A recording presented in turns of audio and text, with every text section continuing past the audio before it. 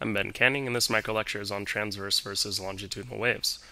As always, you need three or more bullet points worth of notes, a one to two sentence summary, and to do your follow-up questions on Google Forms. So this is oversimplifying it a little bit, but there are two general categories of waves, and most waves can be broken down into one or the other of these. Now there are some exceptions to this, and there are some more complicated waveforms, um, but for the most part what we're going to be studying are transverse and longitudinal waves, and you can see an example of them right here. But to help express what this means, so we've got this idea of to make a transverse wave, you wiggle your hand up and down on a slinky, and to make a longitudinal wave, you kind of pulse your hand back and forth on a slinky. Um, to explain that a little bit further and to see it in motion, I've got a video for us to watch. So take a short second to watch this video on transverse versus longitudinal waves. In a longitudinal wave, the disturbance that makes up the wave is along the direction in which the wave travels. Longitudinal waves are also referred to as compression waves. In a transverse wave, the disturbance that makes up the wave is perpendicular to the direction in which the wave travels.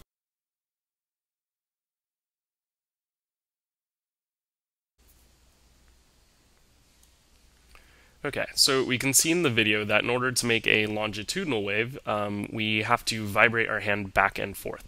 Um, it's more like a pulse. And really what we're doing is the vibration is parallel to the direction of propagation.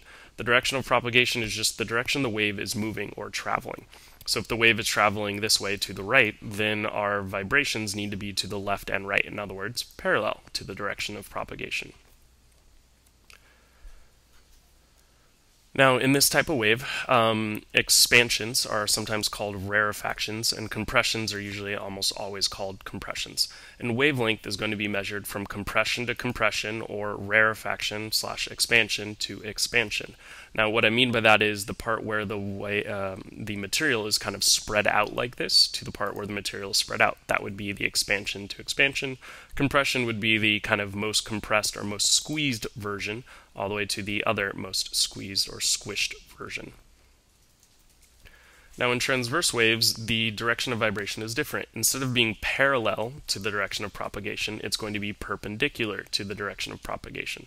So what that means is, is if our wave is traveling to the right again, then in order to make a transverse wave, the vibration must be up and down um, or at a right angle to this direction of propagation. Some examples of transverse and longitudinal waves. Um, there are actually two types of seismic or earthquake waves. The primary version is longitudinal, and the secondary ones that come out are transverse. Um, other examples of transverse waves are light or electromagnetic waves, uh, and then up and down slinky waves, where you're actually physically moving your hand up and down like that. Now, longitudinal waves, the most common example is sound waves, um, but another example would be back and forth slinky waves. This would be where you're pulsing your hand back and forth to make a slinky wave. Now, we would think that transverse waves um, also include water or ocean waves, but in reality, we'll see in a second, uh, ocean waves are kind of a hybrid of the two.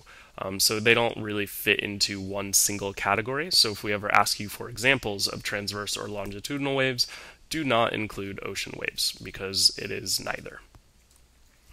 Alright, so I'm going to switch over to a different screen and show you a quick video on um, longitudinal waves, then on transverse waves, and finally on water waves. So a longitudinal wave, this would be an example of a longitudinal wave. Now we can see here this little red particle is moving back and forth, and so in general we can see that this wave is propagating over here to the right, um, but the particles themselves only vibrate a little short period of time, uh, and they just go back and forth, and it's parallel to the direction of movement. And so we can see how movements back and forth can actually relate in a wave pulse that travels down um, the air. So this is really what air looks like when sound is traveling through it. You get these pulses that kind of go.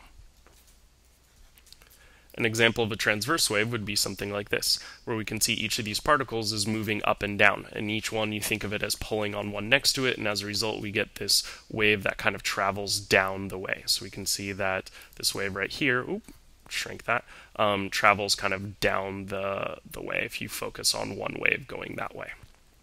All right, and then last but not least, we have an ocean wave. Now, ocean wave is a combo of the two. It both goes parallel um, to the direction of propagation and perpendicular to the direction of propagation. In reality, we can see that this particle really just moves in a circle. So if you follow this around, hopefully this doesn't mess it up too much, we can see that it's going to follow a circular path in this case. And so that's what's going on with ocean waves, and which is why they're neither transverse nor longitudinal. They're actually kind of a weird combo of the two. That's it for this one. Three or more bullet points worth of notes, one to two sentence summary, and do your follow up questions on Google Forms.